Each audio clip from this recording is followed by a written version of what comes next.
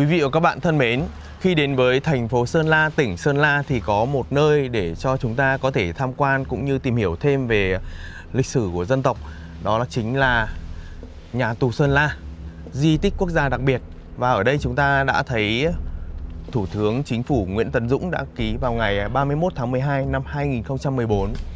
Thì ờ, khi đi vào đây chúng ta sẽ thấy một cái sơ đồ tuyến tham quan trước khi vào mua vé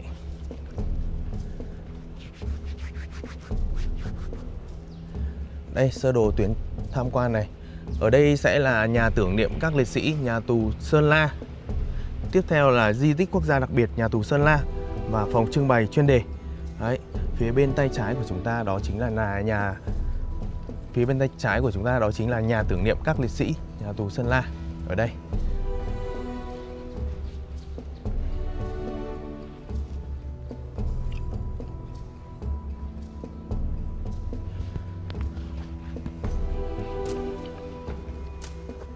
Bây giờ Tuấn sẽ dẫn quý vị đi uh, mua vé để uh, đi vào phía bên trong tham quan và mời một hướng dẫn viên du lịch để có thể cho chúng ta biết nhiều hơn về thông tin tại nơi đây. Đây là nơi chúng ta có thể mua vé. Anh ơi, vé ở đây mình người lớn vào là bao nhiêu tiền anh? Ờ, giá vé người lớn là 30 nghìn Nhưng mà Vâng. giá vé của các bác cựu chiến binh và người già trên 60 tuổi Là Vâng. giá vé có 15 nghìn đồng Tức là sẽ ưu tiên cho các bác. Ưu tiên cho các bác Vâng. Xác. Còn trẻ con thì bao nhiêu ạ? à, Trẻ em thì ờ, bán với giá vé ờ, Các cháu học sinh từ cấp 2, cấp 3 với giá vé là 5 nghìn đồng Vâng. Thế anh cho em hai vé nhé. Chúng ta sẽ tiếp tục đi vào phía bên trong để ờ, có thể ờ, đến để giao cho quầy soát vé và mời hướng dẫn viên đi cùng. Đây. Rồi, em gửi anh. À, cảm ơn anh. Đây, chúng ta sẽ đi vào cổng Bảo tàng Sơn La. À, dạ vâng, giới thiệu với anh thì đoàn mình đang dừng chân ở à, ngọn đồi Khao Cả. Khao Cả theo tiếng dân tộc Thái địa phương có nghĩa là vững chãi. Và trước trước đây thì trước khi mà xây dựng nhà tù Sơn La, thực dân Pháp đã tiến hành cho khảo sát mặt bằng và chúng đã chọn ngọn đồi Khao Cả làm nơi xây dựng nhà tù. Lý do đó là vì uh, ngọn đồi này có một vị trí đắc địa. Vì khi đứng từ trên ngọn đồi cao này, chúng có thể quan sát được một phần cảnh lòng chảo của thị xã Sơn La và nó còn nằm án ngữ giữa ba tuyến đường Sơn La đi Hà Nội, Sơn La đi Lai Châu Điện Biên và Sơn La đi Mường La là tỉnh lỵ vạn bố cũ lúc bấy giờ. Và chính vì lý sau này, chúng cho xây dựng rất nhiều các cơ quan đầu não ở đây như là tòa công sứ, tòa giám binh, trại lính khố xanh, nhà thương và trường học. Đặc biệt nhà tù Sơn La thực dân Pháp xây dựng vào năm 1908. Thì đây chính là cổng chính đi vào duy nhất của nhà tù. Thì xin mời à, các anh chị mình sẽ di chuyển vào bên trong để tham quan.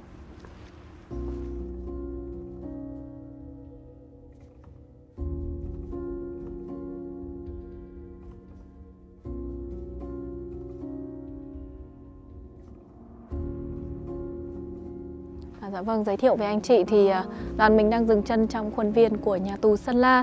Nhà tù Sơn La do thực dân Pháp xây dựng vào năm 1908 với diện tích ban đầu là 500 m vuông. Sau 3 lần xây dựng và mở rộng thì tổng diện tích của nhà tù Sơn La là 2.170 m vuông. Và trước những năm đầu của thế kỷ 20 thì Sơn La còn được mệnh danh là nơi làm Sơn trướng khí, rừng thiêng nước độc, khí hậu vô cùng khắc nghiệt. Thế nên đặc biệt ở đây, thực dân Pháp không sử dụng bất cứ một hình thức tra tấn tù nhân bằng dụng cụ nào hay hành hình tù nhân như ở các nhà tù khác, mà chính khí hậu khắc nghiệt, chế độ lao động khổ sai và bệnh tật, đặc biệt là căn bệnh sốt rét rừng là một thứ vũ khí vô hình để siết dần giết mòn tù nhân. Đặc biệt thì chúng còn lợi dụng trình độ dân trí thấp kém của đồng bào nhân dân địa phương để tuyên truyền rêu rào với bà con rằng tù nhân chính trị đều là những kẻ cướp của, giết người ở dưới xuôi bị đầy lên đây giam cầm và chúng còn treo thưởng rất cao cho đồng bào nhân dân Sơn La. Nếu ai bắt được một tù chính trị vượt ngục thì sẽ được thưởng 20 đồng bạc trắng, tương đương với 5 tạ muối lúc bấy giờ. Và trước đây thì 20 đồng bạc trắng với 5 tạ muối thì là một khối tài sản vô cùng lớn đối với bà con. Và phía bên này thì đây chính là hệ thống ờ, kiến trúc các phòng giam của thực dân Pháp. Thực dân Pháp xây dựng nhà tù Sơn La với lối kiến trúc khá kiên cố. Những bức tường được làm từ đá và gạch, dày từ 30 đến 60 cm. Bốn bức tường bao quanh cao 3m9, quét hắc ín và trước đây thì không có hệ thống trần mà chỉ có mái lợp tôn hoặc ngói thôi. Bên dưới xây sàn nằm của tù nhân làm bằng đá, mặt có láng xi măng, cuối mép sàn đều có gắn hệ thống cùm chân tập thể. Và với lối nằm như thế này thì vào mùa hè tù nhân sẽ nóng như thiêu như đốt. Còn đến mùa đông, với những đợt gió rét sương muối của vùng rừng núi Tây Bắc, tù nhân ở đây chỉ có một bộ quần áo bằng vải thô, một tấm chăn mỏng và một mảnh chiếu thì rất khó có thể chống chọi lại với cái lạnh thấu xương thịt ở đây. Đặc biệt là bên trong các phòng giam, thực dân Pháp còn cho xây dựng hệ thống cầu tiêu nổi. Những phòng giam nhỏ hẹp hơn thì sẽ cho đặt bồ đựng phân không có nắp đậy. Hệ thống cầu tiêu nổi xây dựng theo lối tự hoại nhưng không được sử dụng theo lối tự hoại, không có nước dội rửa và cũng không được vệ sinh thường xuyên. Chính vì vậy gây nên không khí rất ô nhiễm, ngột ngạt và hôi thối bên trong các phòng giam. Và đây cũng chính là căn nguyên để khiến cho bệnh tật lây lan rất nhanh trong tù nhân. Các tù nhân bị đẩy lên nhà tù Sơn La đều mắc các bệnh thông thường như thương hàn, kiết lỵ, phù thủng và đặc biệt là căn bệnh sốt rét và những tù nhân nào bị ốm không thể qua khỏi, thực dân Pháp sẽ dồn tù nhân về giam tại phòng giam tù nhân ốm ở phía đầu tiên và các đồng chí còn gọi đây là nhà xác của nhà tù Sơn La bởi vì bất cứ ai khi bị giam cầm ở đây thì không lâu sau sẽ đều ra đi vĩnh viễn. Lúc này nhà tù Sơn La còn được ví như một chiếc quan tài nắp mở, chỉ chờ tù nhân tắt thở là sẽ đem chôn. Trước đây thì nhà tù Sơn La được mệnh danh là một địa ngục trần gian, chỉ đứng thứ hai sau nhà tù Côn Đảo thôi. Nhưng mà nơi đây cũng đã từng là một trường học cách mạng, đã đào tạo và bồi dưỡng rất nhiều cán bộ cho đảng như đồng chí Lê Duẩn, Trường Trinh, Nguyễn Lương Bằng và tiêu biểu trong số đó có đồng chí Tô Hiệu giới thiệu với các anh chị, cây đào mang tên đồng chí Tô Hiệu như một biểu tượng về sức sống và tinh thần đấu tranh mãnh liệt của các chiến sĩ cộng sản trong nhà tù Sơn La. Và cũng rất vinh dự cho nhân dân Sơn La đã được chiết một nhánh nhỏ của đào về trồng tại lăng Chủ tịch Hồ Chí Minh nhân dịp khánh thành lăng vào năm 1975. Vâng, giới thiệu với các anh chị. À, đây chính là nơi mà thực dân Pháp chúng đã giam cầm đồng chí Tô Hiệu trong suốt 4 năm, từ năm 1940 đến năm 1944. Đồng chí Tô Hiệu sinh năm 1912, quê ở Hương Yên. Trước khi bị giam cầm ở nhà tù Sơn La, đồng chí đã từng có 4 năm bị giam ở nhà tù Côn Đảo từ năm 1930 đến năm 1934 và sau 4 năm mãn hạn tù Côn Đảo nhưng vẫn bị thực dân Pháp quản thúc tại quê nhà. Và đến cuối năm 1939, đồng chí lại một lần nữa bị thực dân Pháp bắt tại một xưởng in. Lúc này đồng chí đang giữ chức vụ là thường vụ xứ ủy Bắc Kỳ, bí thư liên khu B, kiêm bí thư thành ủy Hải Phòng và thực dân Pháp chúng đã tra tấn đồng chí rất dã man, dùng mọi thủ đoạn để mua chuộc nhưng không lay chuyển được ông. Và đầu năm 1940, chúng đã kết án đồng chí ở nhà tù Hỏa Lò, Hà Nội và đầy lên nhà tù Sơn La với mức án là 5 năm tù khổ sai thực dân Pháp coi đồng chí là một thành phần vô cùng nguy hiểm và lấy cớ đồng chí mắc căn bệnh lao phổi nặng, thế nên đã giam cầm biệt lập ông trong phòng giam hình tam giác rộng chưa đầy 4 mét vuông này. Và đây cũng chính là phòng giam duy nhất có cửa ra vào hướng ra đường lính đi tuần. Còn những phòng giam khác đều có cửa hướng ra phía cổng chính với mục đích là không để cho đồng chí tiếp xúc với bất kỳ một tù nhân nào trong nhà tù Sơn La. Nhưng mà chỉ trong vòng 5 tháng sau khi bị giam cầm ở đây thì đồng chí đã được anh em tín nhiệm bầu là bí thư trì bộ nhà tù Sơn La. Nhưng do sức khỏe yếu nên đồng chí à, chỉ giữ chức vụ khoảng hơn một năm. Sau đó thì làm à, à nhiệm vụ đó là à, đào tạo cán bộ à, đào tạo cán bộ trong nhà tù thì vào năm 1944, đồng chí Tô Hiệu đã hy sinh trong nhà tù Sơn La ở một khu vực khác phía bên trong. Thì à, mình sẽ cùng di chuyển vào bên trong để tìm hiểu. Phía trên này thì là khu vực tròi canh à, của thực dân Pháp. Ở nhà tù Sơn La có tổng cộng là 4 tròi canh, 3 tròi canh ở ba góc và có một tròi canh trung tâm để thực dân Pháp chúng à, có thể quan sát các hoạt động vào bên trong và bên ngoài nhà tù. Thì ở phía dưới của tròi canh đây chính là các à, lỗ châu mai và vâng và hiện tại như các anh chị có thể quan sát, nhà tù cũng đã không còn được nguyên vẹn nữa vì đã trải qua hai cuộc ném bom của thực dân Pháp và đế quốc Mỹ vào năm 1952 sau khi thua tại chiến dịch Tây Bắc của quân và dân ta thì thực dân Pháp chúng đã cho máy bay quay trở lại ném bom nhằm phá hủy đi dấu vết tội ác của mình. Năm 1965, đế quốc Mỹ leo thang bắn phá miền Bắc, bắn phá thị xã Sơn La và nhà tù cũng đã bị ảnh hưởng thêm một phần và hiện tại thì cũng đã phục dựng được một số các à, à, khu vực phòng giam ở phía bên trong. Vâng, giới thiệu với các anh chị thì đây là hệ thống các phòng giam nổi của thực dân Pháp còn được gọi là phòng phạt giam. Phòng phạt giam nhỏ hẹp như thế này thì thông thường thực dân Pháp phạt giam từ 1 đến 2 tù nhân. Nhưng mà vào những thời kỳ cao điểm, chúng phạt giam trong phòng giam này đến tận 4 tù nhân chính trị và các đồng chí chỉ có thể ngồi bó gối, đứng khom lưng hoặc là thay nhau nằm co. Đặc biệt là bên trong phòng giam thì còn cho đặt bồ đựng phân không có nắp đậy và có những đồng chí phải hy sinh chính chiếc áo của mình để che nắp thùng phân, cố gắng giảm thiểu đi những mùi ô uế ở bên trong phòng giam. Dạ vâng, giới thiệu với các quý khách, khu vực trại Ba Gian đã được phục chế lại vào năm 2007. Về kiến trúc thì trại Ba Gian có kiến trúc khác hơn so với những trại giam ở ngoài, đó là sàn nằm của tù nhân thì làm bằng gỗ, nhưng cuối mép sàn cũng đều có gắn hệ thống cùng chân tập thể chạy hết dọc theo chiều dài của sàn. Và trước đây, trại Ba Gian này là một trại giam tập thể, thông thường có thể giam giữ khoảng 50 đến 60 tù nhân và những trại giam tập thể như thế này thì là nơi mà các đồng chí tổ chức được rất nhiều các buổi học tập sôi nổi theo phong trào của tri bộ đề ra, đó là biến nhà tù đế quốc trở thành một trường học cách mạng. Phía bên trong này có một nhóm tượng mô phỏng lại cảnh các đồng chí đang tổ chức học tập ở bên trong nhà tù theo hình thức chủ yếu đó là truyền miệng thôi. Ở đây các đồng chí được học tập chính trị, văn hóa, học bình vận, dân vận, học tiếng Việt, tiếng Pháp và đặc biệt là học tiếng Thái là tiếng của đồng bào dân tộc thiểu số ở đây để có thể tuyên truyền, giác ngộ cách mạng cho bà con và gây dựng được cơ sở cách mạng ở bên ngoài. Phía trong cùng của khu vực trại Ba Gian là khu vực cầu tiêu nổi của tù nhân. Dạ vâng, phía cuối của khu vực trại Ba Gian cũng là cầu tiêu nổi của tù nhân.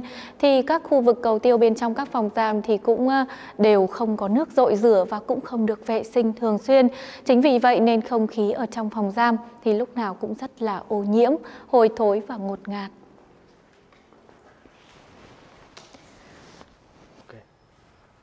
Vâng, giới thiệu với các anh chị thì à, khu vực này trước đây là khu vực kho xếp, là nơi thực dân Pháp để đựng các dụng cụ lao động dành cho nhà bếp.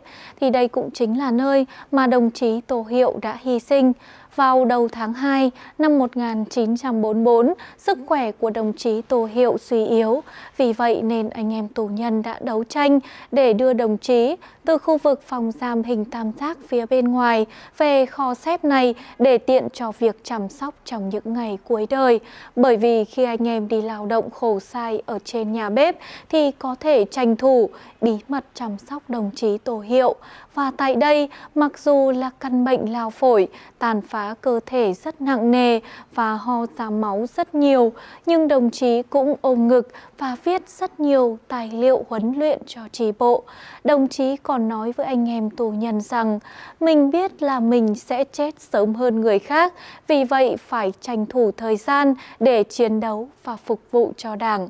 Và vào 10 giờ sáng ngày mùng 7 tháng 3 năm 1944, trong một cơn ho kéo dài mất sức thì đồng chí tổ hiệu đã hy sinh tại kho xếp trong vòng tay của anh em tù nhân và sự hy sinh của đồng chí là một mất mát lớn cho trì bộ nhà tù Sơn La và cũng cho phong trào cách mạng lúc bấy giờ.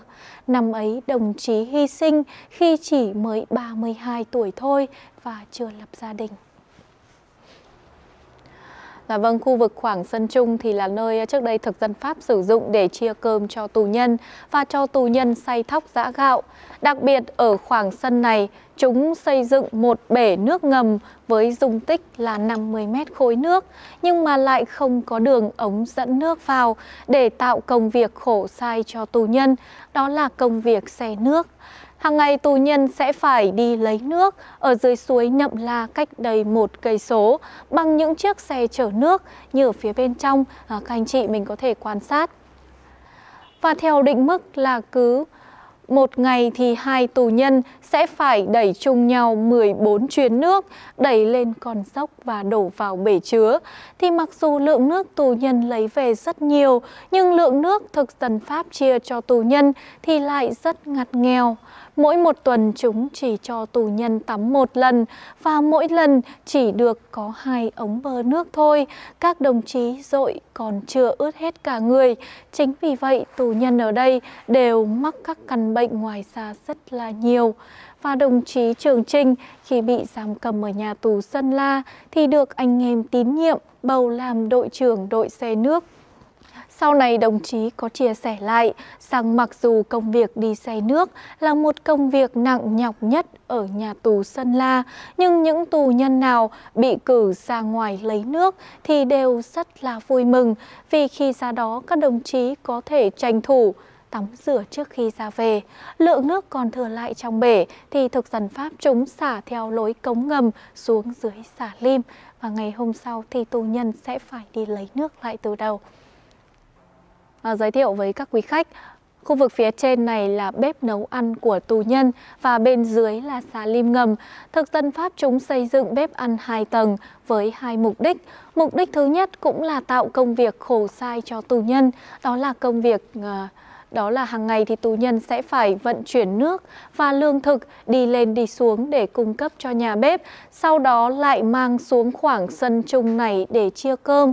Và vào những thời kỳ cao điểm, nhà tù Sơn La giam khoảng gần 500 tù nhân thì bếp ăn phải hoạt động liên tục trong một ngày và như thế tạo nên một công việc khổ sai rất nặng nhọc cho tù nhân. Và mục đích thứ hai thì chúng muốn ngụy trang cho khu xà lim ngầm nằm sâu dưới lòng đất. Ờ, xà lim ngầm thực dân Pháp xây dựng vào năm 1930 khi chúng mở rộng diện tích nhà tù Sơn La thêm 1.500 m2 thì đã cho xây dựng rất nhiều hệ thống các phòng giam và trong đó có xà lim ngầm. Xà lim ngầm ờ, thực dân Pháp xây dựng nằm sâu bên dưới lòng đất 3,5 m với tổng diện tích là 110 m2 và có tất cả là 5 xà lim cá nhân, 2 xà lim tập thể và một phòng hỏi cung. Xà lim ngầm xây dựng nhằm để giam cầm các tù nhân cứng đầu, cứng cổ và đặc biệt khó trị. Nhưng mà chỉ là phạt giam trong một thời gian ngắn thôi chứ không phải là giam lâu dài. À, thông thường xà lim ngầm có thể giam giữ khoảng 10 đến 15 tù nhân, nhưng mà nơi đây vào năm 1941 đã diễn ra một cuộc đấu tranh tuyệt thực và thực dân Pháp chúng đã phạt giam 156 tù nhân ở dưới xà lim này. Và lý do là vì hàng ngày tù nhân phải đi lao động xe nước, À, như em vừa chia sẻ ở trên, theo định mức là cứ một ngày thì một tù nhân phải đẩy 7 chuyến nước, sáng 4 chuyến và chiều 3 chuyến. Nhưng mà tên công sứ Cút Sô lúc đó thì hắn muốn tăng số lượng xe nước lên để bắt tù nhân phải làm việc cật lực và không được nghỉ ngơi. Đương nhiên tù nhân của ta thì không đồng ý. Và sau một ngày, hắn cho người đi theo dõi thì thấy số lượng nước không tăng nên đã phạt ra một số người đi xe nước xuống dưới xà lim này và khi anh em tù nhân đi lao động khổ sai về, biết được tin thì đã tuyên bố với tên công sứ là chúng tôi tuyên bố tuyệt thực không ăn và không làm việc để phản đối việc ông công sứ bắt giam mấy người đi xe nước xuống dưới hầm ngầm một cách vô lý. Và tên công sứ thì hắn vô cùng nham hiểm và độc ác. Hắn đã sai lính canh, dồn tất cả 156 tù nhân đấu tranh tuyệt thực xuống dưới xà lim này và ra lệnh là không để lọt một hạt cơm và một giọt nước nào xuống dưới xà lim. Nếu ai trái lệnh thì sẽ bị bắn ngay. Và sự việc diễn ra hoàn toàn khác với dự kiến của ta. Ta chỉ tuyên bố là nhịn ăn, nhưng kẻ địch bắt ta nhịn uống và giam chặt dưới hầm sâu. Căn hầm chật hẹp, ẩm ướt lạnh lẽo thì bỗng trở nên nóng bức. Các đồng chí thậm chí còn cởi hết quần áo của mình, áp lưng vào tường và cố gắng hút lấy một chút hơi mát. Ở phía lối ra vào duy nhất, thực dân Pháp cho đặt một bồ đựng phân không có nắp đậy để làm công tác vệ sinh. Tù nhân nào có nhu cầu thì sẽ đi vào các ống bơ, rồi truyền tay nhau và đổ vào thùng phân. Nhưng đến ngày thứ ba thì thùng phân đầy phạt tràn ra ngoài, sinh ra giỏi bọ. Trong hồi ký của các cựu tù chính trị có ghi lại rằng chúng tôi chỉ cần nằm chờ mình thì cũng nghe thấy tiếng những con giỏi bọ trắng nổ lép bép và nó còn bò vào đầu, vào tai, mắt, mũi. Trong ba ngày đầu tiên, tù nhân không nhận được một hạt cơm và một giọt nước nào vì đói, nóng và khát. Các đồng chí thậm chí đã phải uống chính nước tiểu của mình. Đến ngày thứ năm, sức khỏe của anh em đã suy yếu rồi. Vì vậy, tri bộ đã đồng thanh đấu tranh hồ nước. Nước bằng cả tiếng Pháp và tiếng Việt. Một số binh lính cảm động trước tinh thần đấu tranh của anh em tù nhân nên đã xin với tên công sứ là cho anh em uống nước nhưng hắn không đồng ý. Và sau một ngày và cũng rất là may mắn thì ờ, trong ờ, đêm đấy thì đồng chí Tô Hiệu đã cảm hóa được một số binh lính. Và ngay trong đêm ngày thứ năm thì đã có một người lính mang nước xuống theo lối cửa chính cho tù nhân và đến ngày thứ sáu khi đi quét dọn đường tuần của lính canh đồng chí tổ Hiệu cũng đã lén múc trộm nước tại bể và đổ qua những song sắt cho tù nhân nhưng mà những song sắt thì bị chắn bởi lưới mắt sàng nên các đồng chí phải dùng chính quần áo bẩn của mình để thấm từng giọt nước và vắt chia nhau uống. Đến ngày thứ bảy thì sức khỏe của anh em đã suy yếu rồi, vì vậy tri bộ quyết định sẽ tạm dừng cuộc đấu tranh ở đây. Nhưng mà thực dân Pháp thì chúng không thả tù nhân ra ngay, mà vẫn phạt giam thêm 5 ngày nữa ở dưới xà lim này và ra lệnh, sai lính canh, đó là đem cơm cứng xuống cho tù nhân ăn và lấy nước bẩn ở trên đồi chảy xuống cho tù nhân uống với âm mưu để tù nhân thiệt mạng vì bệnh đường ruột. Nhưng tù nhân của ta kiên quyết là không ăn cơm và không uống thứ nước đó. Chính vì vậy, sau 12 ngày đêm, thực dân pháp buộc phải thả tù nhân ra ngoài và đây là một cuộc đấu tranh không thành công, nhưng nó cũng chính là một bài học kinh nghiệm cho chỉ bộ nhà tù Sơn La rút ra để tổ chức các cuộc đấu tranh sau này. Và cũng rất là may mắn, trong 12 ngày đêm đấu tranh ấy thì không có một đồng chí nào của ta hy sinh cả.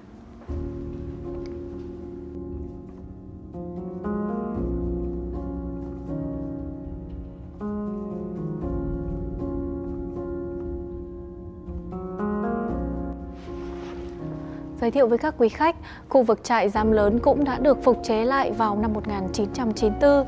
Trước đây thông thường trại giam lớn có thể giam giữ khoảng 100 tù nhân và nay đã được cải tạo trở thành phòng trưng bày các tư liệu, hiện vật liên quan đến quá trình hình thành và hoạt động của nhà tù Sơn La.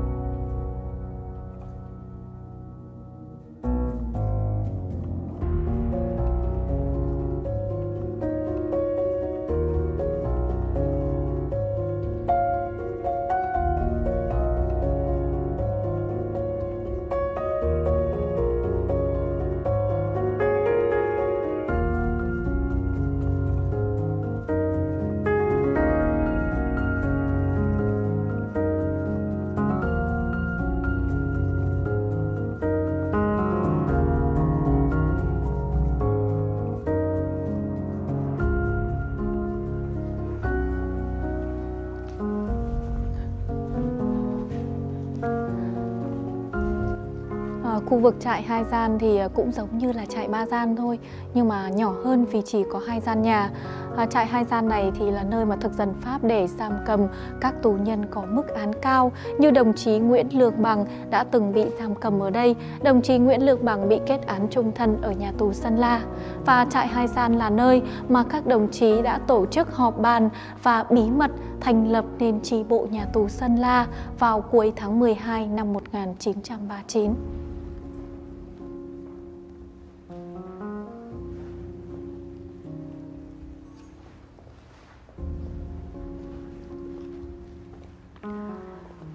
Dạ vâng, đây là khu vực nhà bàn giấy và bên trên là tròi canh trung tâm. Khu vực nhà bàn giấy là nơi làm việc của thực dân Pháp để chúng làm các công việc giấy tờ và kiểm tra số lượng tù nhân. Bởi vì tù nhân ở nhà tù Sơn La thì à, mỗi buổi sáng sẽ đều phải đi ra ngoài làm các công việc lao động khổ sai rất nặng nhọc như đục lỗ, đặt mìn phá đá, đẩy xe chở nước, xe chở gạo và khai thác gỗ.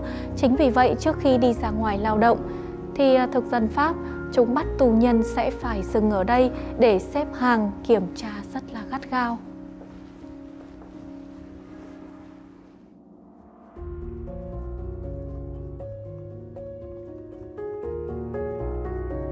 1940, thực dân Pháp chúng mở rộng nhà tù Sơn La thêm 170 mét vuông nữa với âm mưu nhằm để giam cầm tù nhân chính trị nữ. Nhưng mà rất may là âm mưu của chúng đã không thành công, vì vậy nhà tù Sơn La không có tù nhân chính trị nữ. Phòng giam bên này cũng chỉ giam tù nhân nam thôi.